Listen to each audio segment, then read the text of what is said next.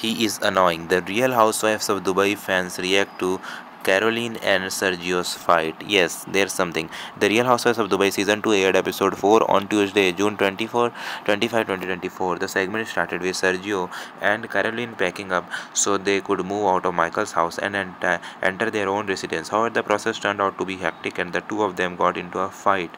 Yes, a real fight. As you can see, Caroline is annoyed by Sergio and I don't blame her. He is annoying. There's as you can see. There is something like real fire going on.